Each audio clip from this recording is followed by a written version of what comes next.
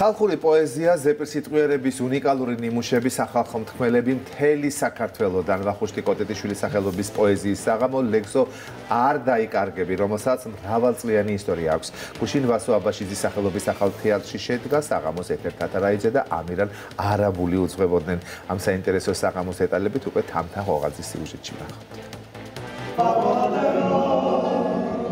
Share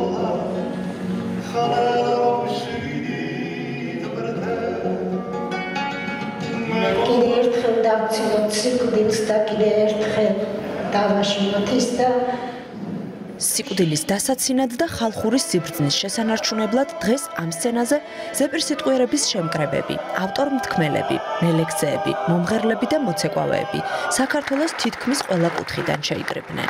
ისინი აქ ერთმა მთავარმა მიზეზმა დიდი ტრადიციის მქონე ხალხური პოეზიის საღამომ გააერთიანა, რომელსაც დასაბამი ჯერ კიდევ გასულ საუკუნეში ვახუშტი კოტეტიშვილმა და მისმა მეგობრებმა ჩაუყარეს.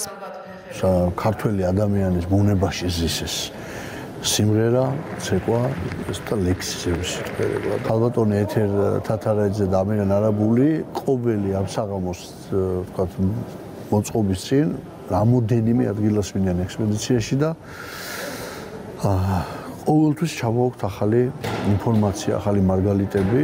აი აქ რო თქვი დღესა. დღეს რო თქვი? დღეს რო თქვი ისა. მეორე თქვი.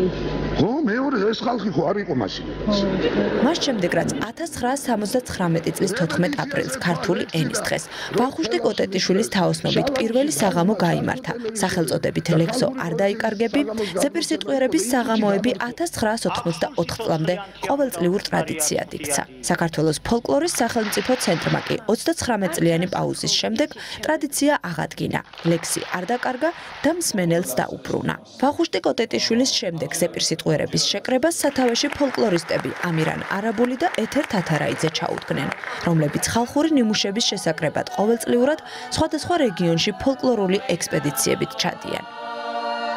ჩვენი გასვლები ქალაქიდან და ძებნა ძიება საღამოს მონაწილეების წარმატებით ჩატარდა, ჩაიარა ყველაფერმა ამან და დღეს მიუხედავად იმისა, რომ რამდენიმე ძალიან ღონიერი კმელი მელექსე ვერ ჩამოვიდა, არ ესწრებოდა, ვერ მიიღო მონაწილეობა.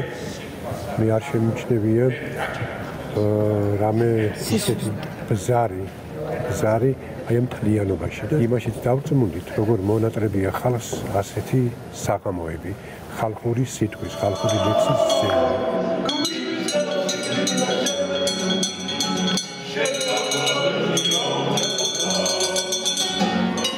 მონატრებული ფოლკლორის საღამო ამჯერად ვასო აბაშიძის სახელობის ახალ თეატრში ჩატარდა. ხელნაკეთი მოსაწვევი ბარათების სტუმრებისთვის თავად საღამოს წამყვანებმა, ამირან არაბულმა და ეთერ თათარაიძემ, ყვავილებითა და ხალხური პოეზიის ნიმუშებით შექმნეს. სცენაზე ქისტი და ოსი ქალბატონების კაფიაობას კახური მრავალხმიანობა, რაჭული სიმღერა, ვაინახური ფოლკლორი, სვანური ცეკვა და ფშავური ლექსი ცვლიდა.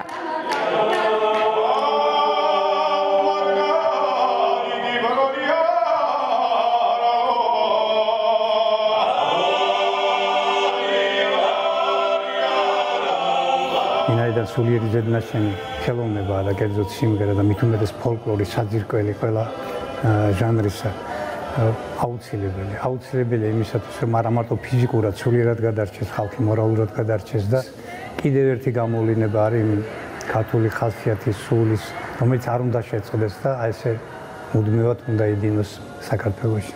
დღევანდელი დღე ჩემთვის არის საკუთარ ფესებთან თავის მიდება და ყურის გდება შენი სისხლის ყურის გდება როგორ ხმაურობს როგორ სასიამოვნოდ გასნის ეს მაჯისცემა შენი ქვეყნის როგორ ყურს როგორ მალამოდედება სვენას. ასეთ საღამოები უნდა ჩატარდეს მრავლად რომ ახალგაზრდა თაობამ გაეგონ საიდან მოდიან ვინები არიან? მასალებელი ეუბნება პატარა მეფეს აბა მიხო რა გველი შეჯარებით 1 მეტრე ეკლიანი მარტო მიუხედავად პანდემიური სირთულეებისა და მონაწილეების არასრული შემადგენლობისა, ვახუშტი კოტეტიშვილის სახელობის ხალხური პოეზიის საღამო მისი დაფუძნების დღიდან უკვე 42-ად ჩატარდა და საზოგადოების წინაშე ზეპირსიტყვიერების უძველესი ხელოვნება კიდევ ერთხელ წარსდგა. მტრეთან თუმცა მტრეთან ბრძოლაში ყოველთვის უშველოდა და მხარში ვედგა ხალხური სიტყვა, ხალხური პოეზია. აი ჩვენი ეს საღამოებიც ამას ისახებს მიზნად, რომ ის უნდობლობა, ნიჰილიზმი, უიმედობა როგორმე დავძლიო. არ შეიძლება სულგლოვა და სულ აი არასდროს არ ჩვენი ხალხი ასეთი, რომ გლოვა ვერ დაესრულებინა და ჩვენ ამისთვის ძალიან კეთილი ენერგია ვატრია ლეთრითით შეგვეძლო. ეს ხალხური წესია ჩვენი ქვეყნის. რომ არ უნდა გაუტყდე, სიკვდილს არ უნდა დაემონე.